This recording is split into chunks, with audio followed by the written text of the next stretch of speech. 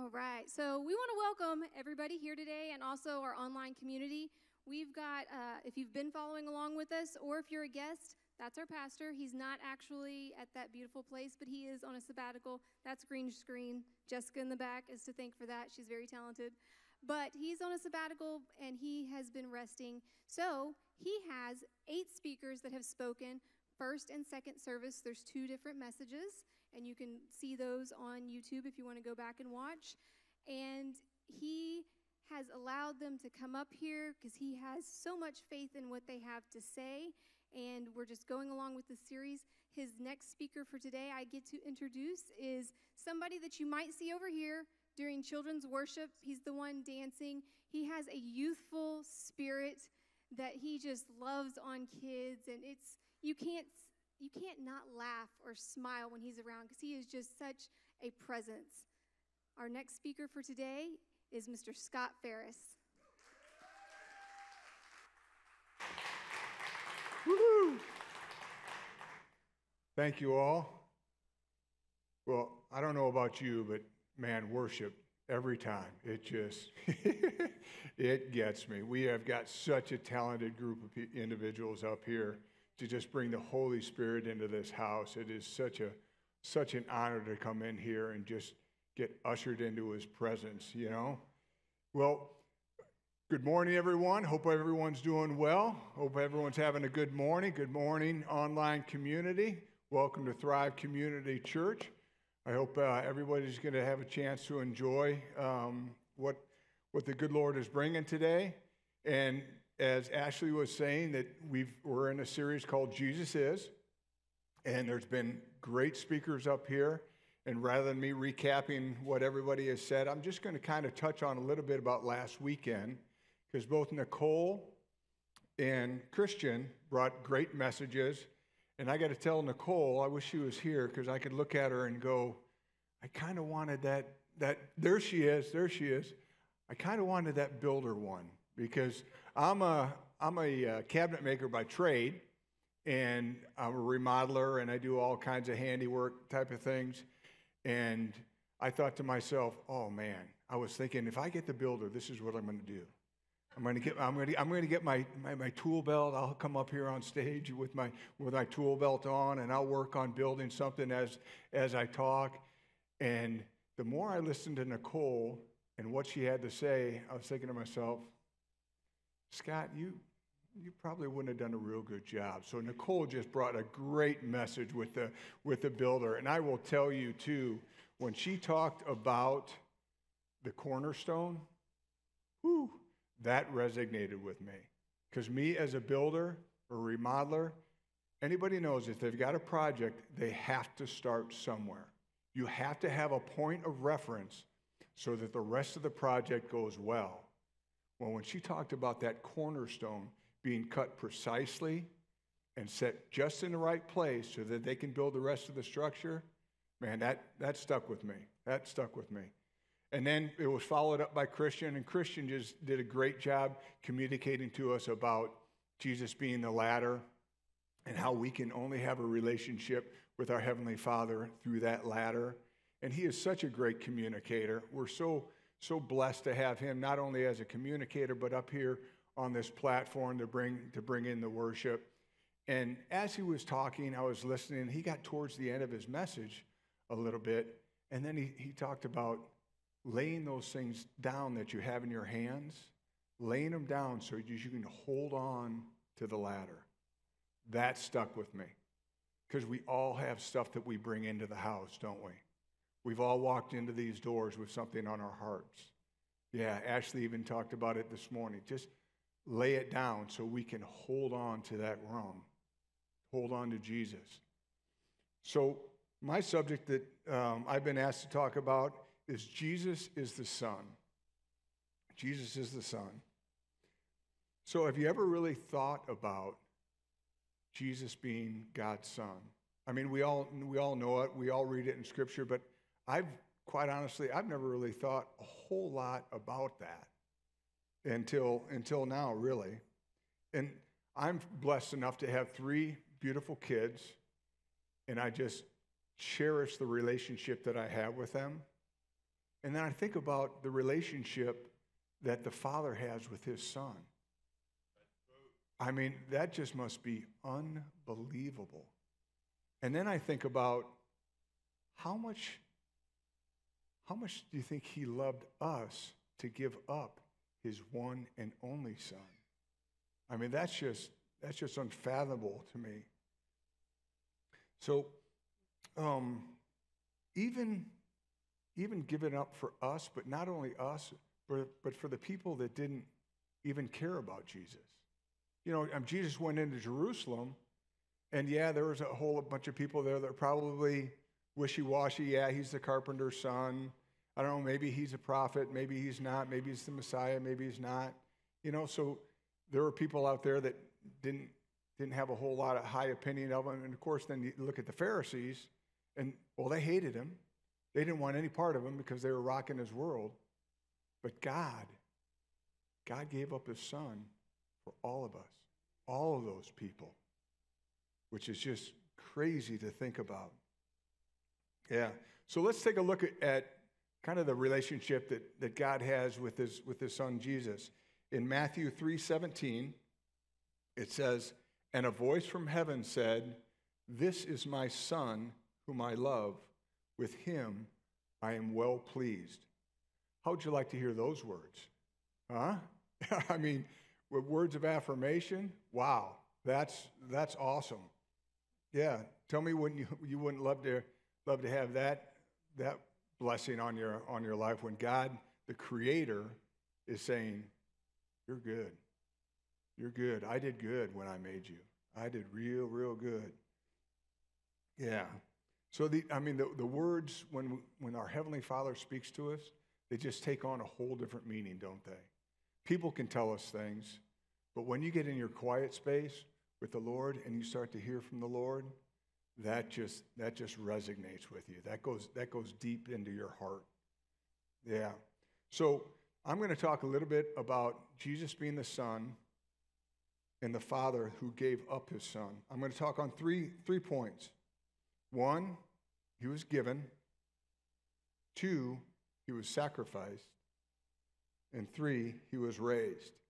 So let's look at how he was given. Isaiah 9 6 says, For unto us a child is born, unto us a son is given. The next verse is John 3:16.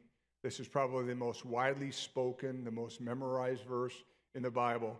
All of us could probably repeat it if with our eyes closed. So it says, for God so loved the world that he gave his one and only Son, that whoever believes in him shall not perish, but have eternal life. Many versions, many versions of this passage has the word begotten son. Why it's in some and not in others, I'm not a theologian. I don't, I don't know how, why that is.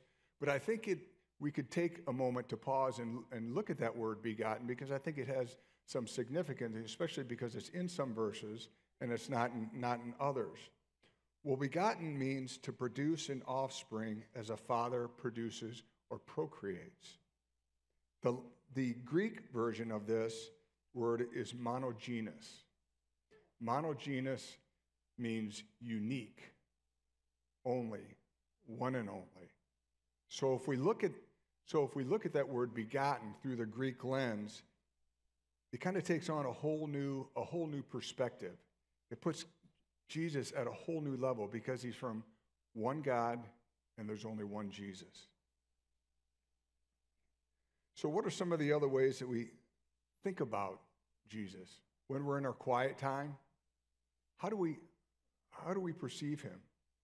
I know for me as I've read the Old Testament and the New Testament, I always kind of look at Jesus and think He's the, he's, the, he's the gentle one. He's the peacekeeper one. He's the one that brings, brings good words.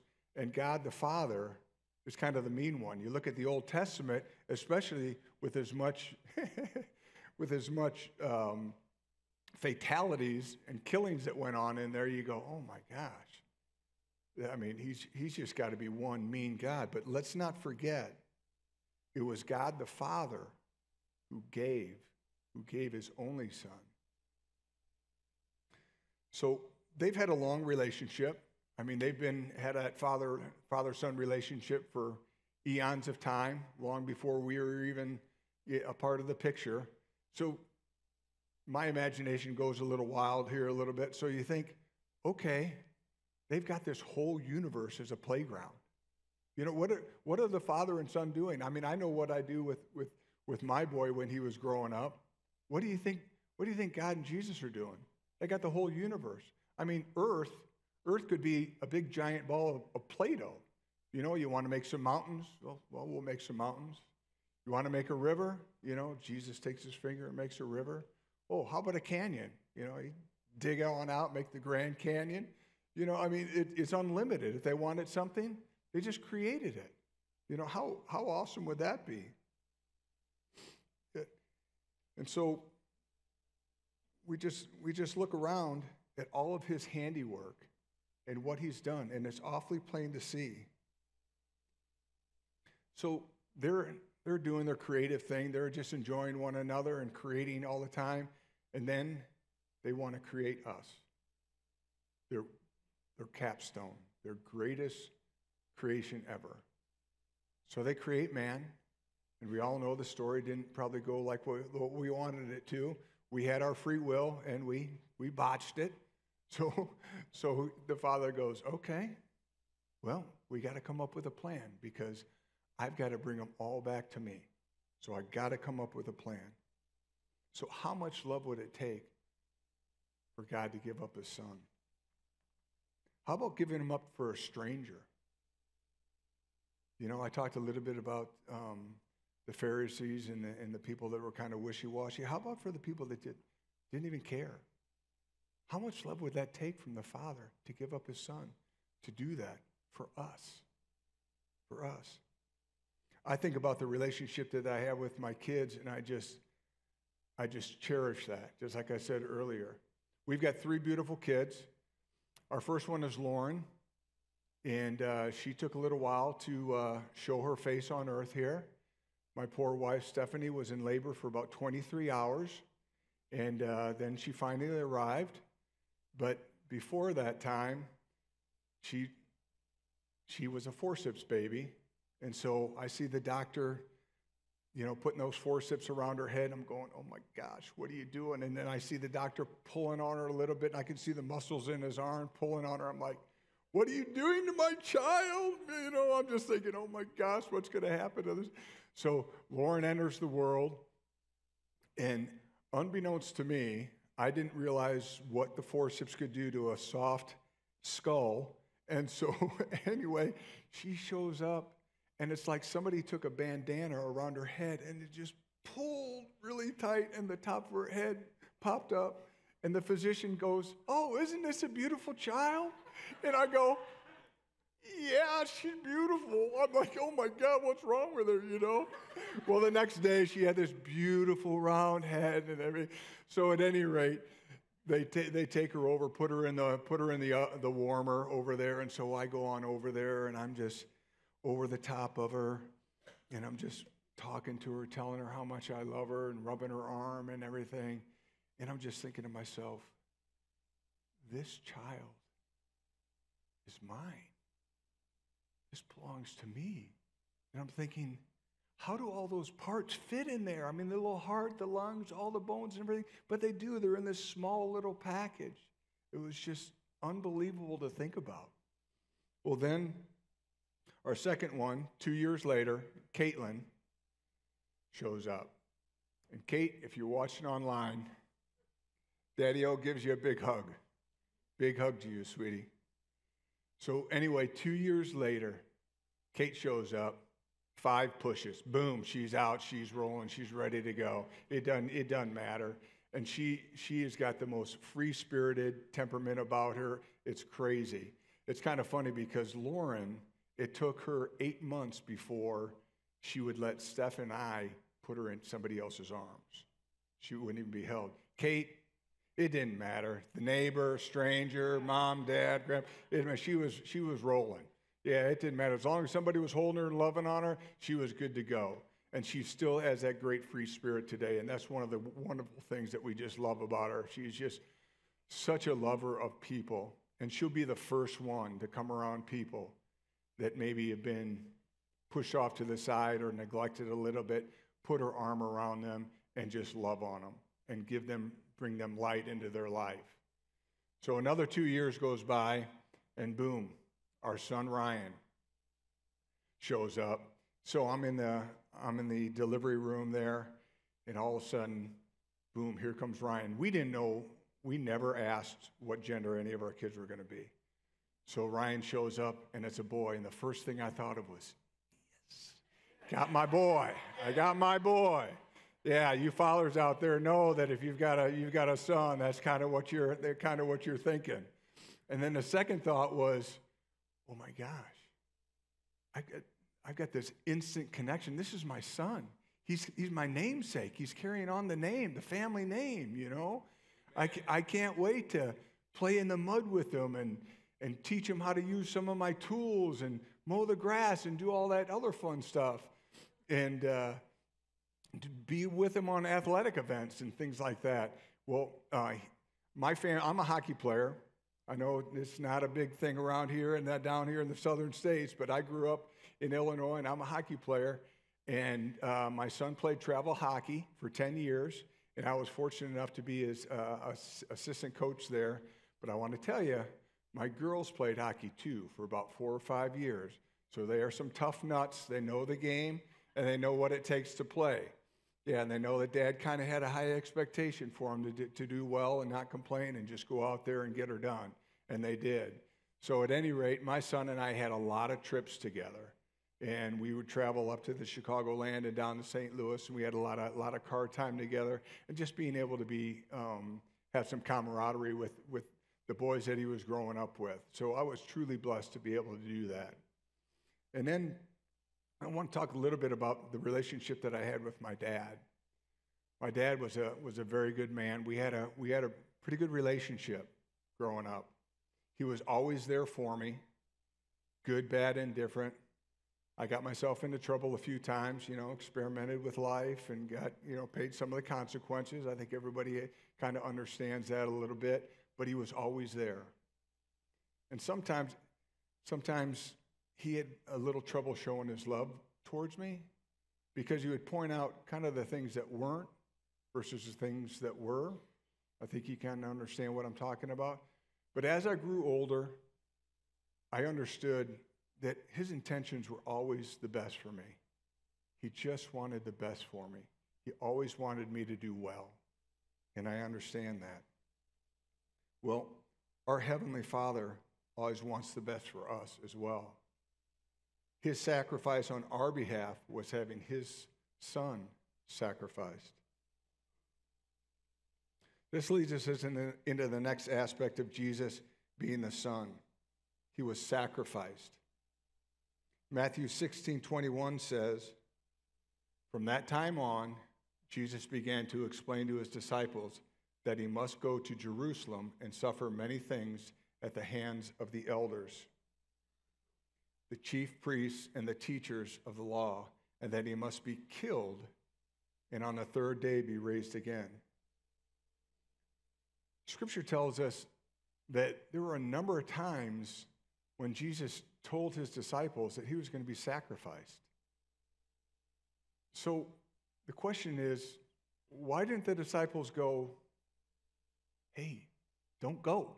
You know, what I mean, don't go. I never, I never really thought about that too much, but let's put it in today's world. Let's, let's, everybody knows the story about JFK. He goes down to Dallas Suppose JFK said, Oh, yeah, let's put this trip together. We're going to go down to Dallas and I'm going to ride through the streets. And oh, by the way, I'm going to be assassinated. Well, most of his people, his entourage, is going to say, Well, don't go. You know, it's pretty simple. How about Martin Luther King? I've got a daughter and son in law and a grandson that live in Memphis, and he goes down there to try to straighten things out down there.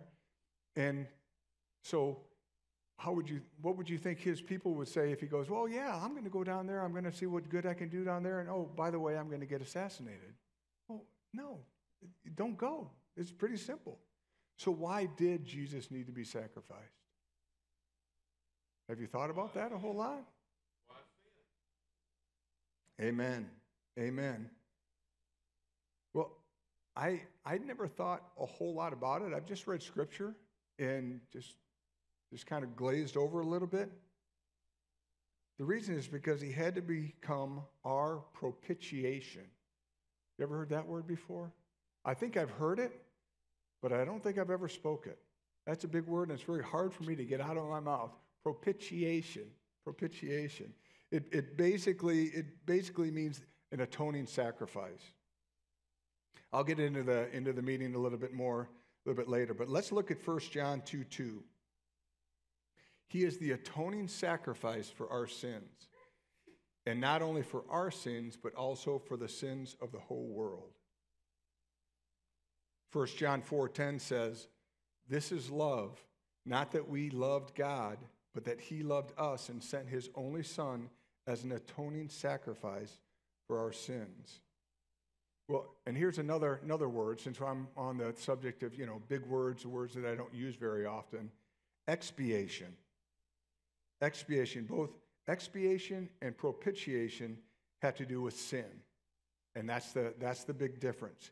Expiation looks at sin from a sinner's perspective. The definition of, of expiation is that our sins have been expelled, expiation, expelled or removed. But propitiation looks at sin from God's perspective.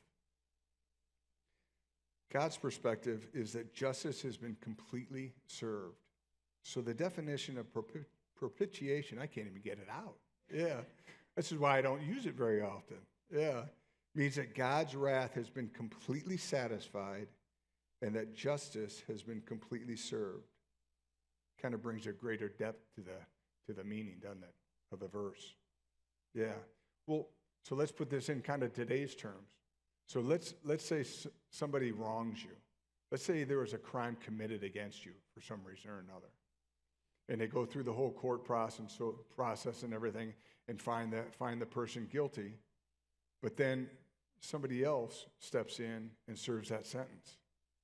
Well, do you feel like you'd be justified? You think that's a that justice would have been done? Probably not. Probably not.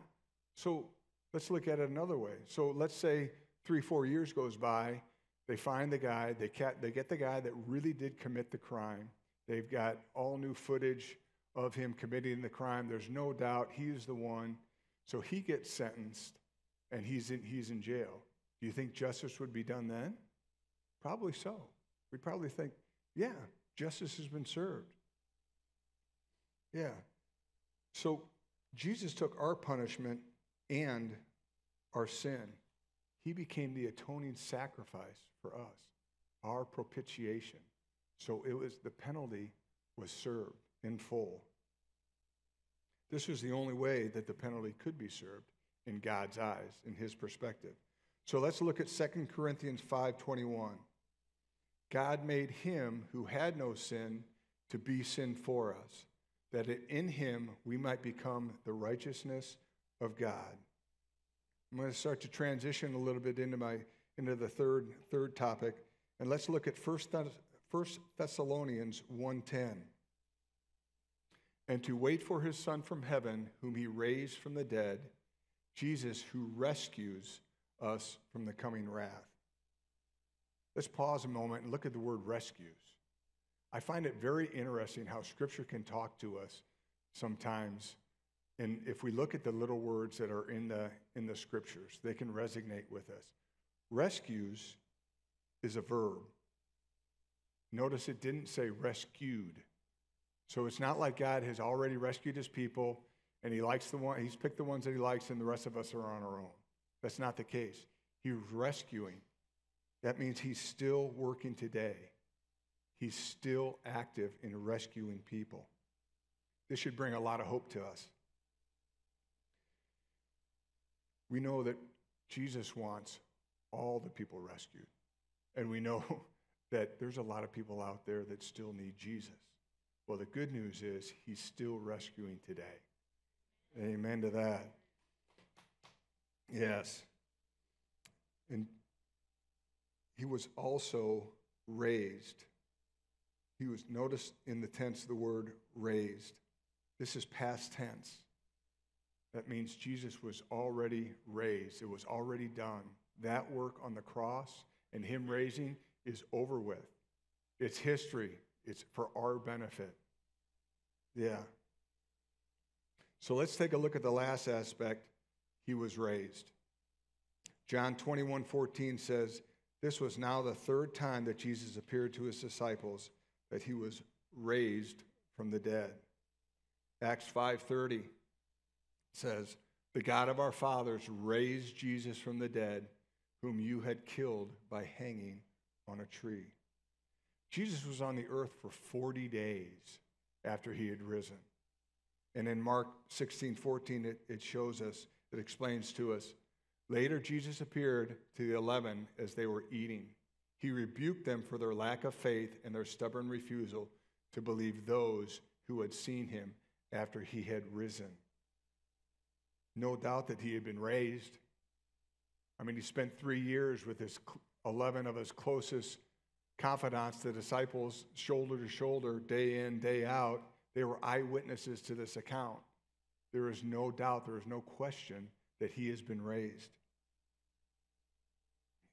This, my friends, is great news. We've got eyewitness accounts.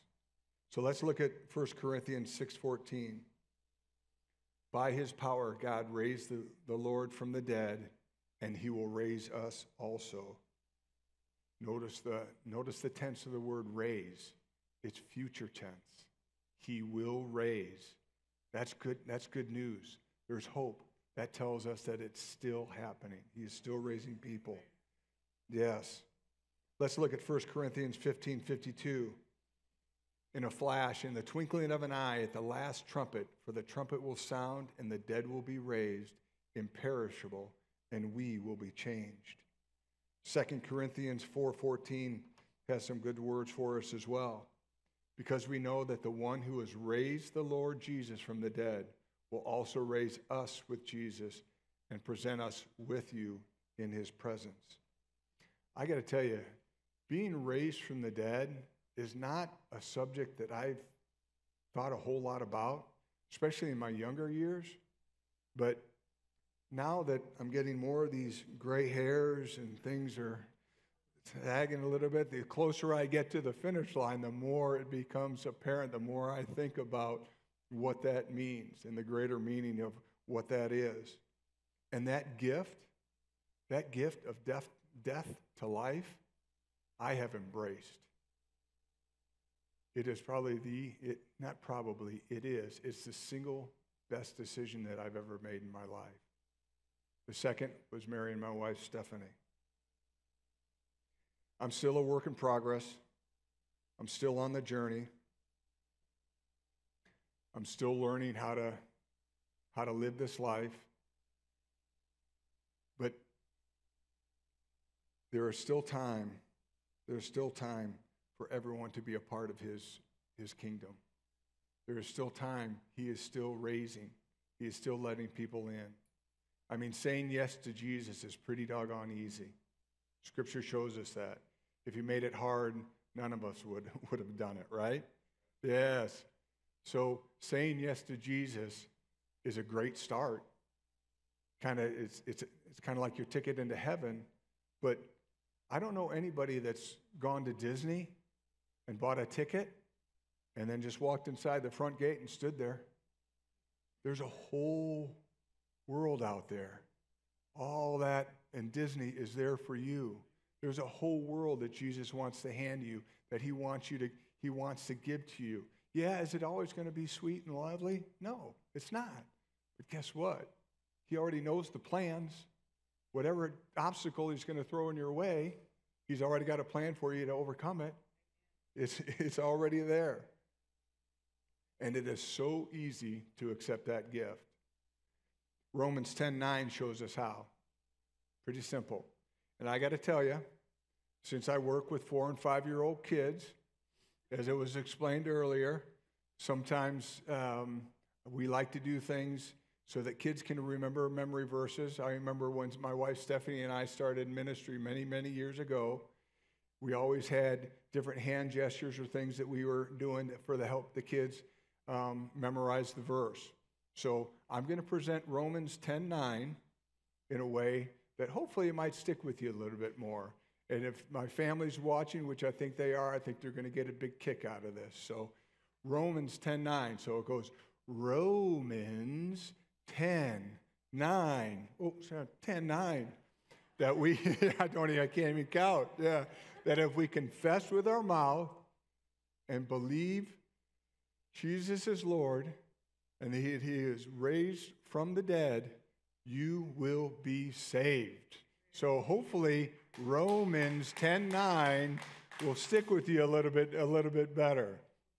Well, I want to share just one more one more story with you, because um, this verse has a very special meaning for me. Uh, my father passed away last October. He was 90 years old.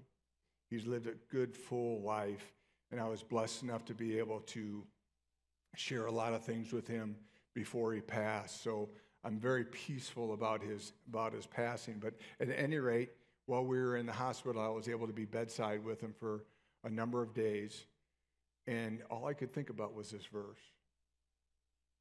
And I just kept thinking about it. And pretty soon, one day when I was by his bedside, the good Lord goes, Remind him. Tell him. Remind him. So I asked my dad, I said, Dad, do you, do you believe in Jesus? Have you asked Jesus into your heart? And he said, I don't know how to do that. So I led him in a little prayer. And then I said, Dad, do you, do you believe in God? And boom, I mean, he, he's story after story of what, how God has worked in his life. And I'm like, yes, that's all I could think about was because he, he accepted Jesus into his heart and he confessed with his mouth and he will be saved. That was just super, super comforting for, to me. What a blessing that, what a blessing that was. So, as I mentioned earlier, I have an overwhelming love for my family. And I think that I would, I would give anything for my, for my family. I would take a bullet for them. And I learned long ago that the best protection that I could give my, my family was turning them over to Jesus. That was the best gift that I could give them to protect them because I can't do it on my own. And as much love as I can muster up for my family and for God, it has no comparison, no comparison to the love that the Heavenly Father has for you and for me. And I think to myself, how much love does it take for Him to sacrifice His Son so that we can hop on that ladder and have that relationship with our Heavenly Father so we can spend all eternity with Him? That's, that's awesome. Well, let's, let's wrap this up.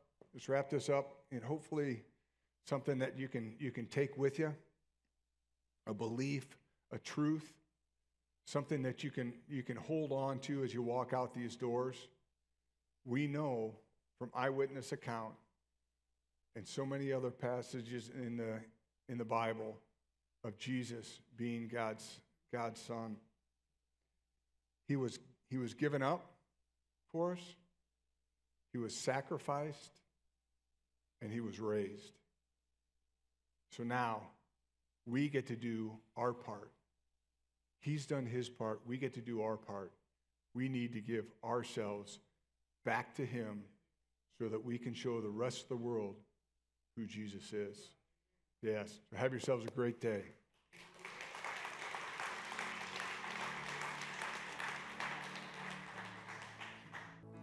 What do you say we close out with just declaring that God is always up to something good?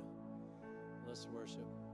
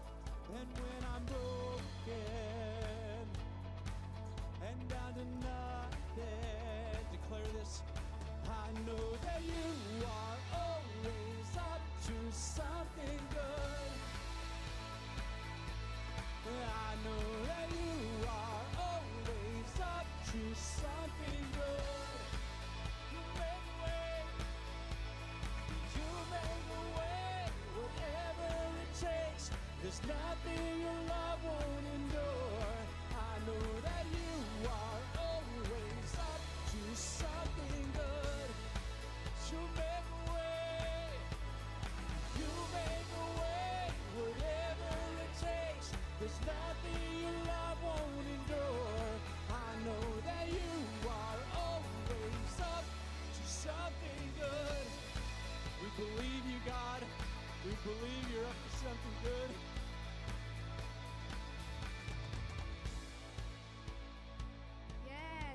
thank you, Scott. That was a great word. Go ahead and give him a hand. Good job, Scott. All right, I'm going to call our prayer team up because, as if you were here first service, and then also it was mentioned kind of weaved in, if you brought something in, don't take it home. Come let this prayer team pray and love on you, my phone up here because we're going to pray over our tithe and offering. We pray over it every week because we want to make sure that it is blessed and that it has God's blessing all over it. So if you give it in a envelope, if you give it in your phone, however you give it, just just raise it up as a as a representation. Dear heavenly Father, you are the light of the world. You are the guider to our path. We know that your word says that everything on earth belongs to you we belong to you and that you have given us everything that we have. So we want to give a little bit of what you have already given us back to you. So we offer our tithe to you and we ask that you bless it and that you guide it and you put it where you need it. In Jesus' name we pray, amen. Uh, reminder we've got the kids' car wash out there. So you've got a dirty car wash or got a dirty car, you can go see them. And we pray that you have a blessed day. Have a good day.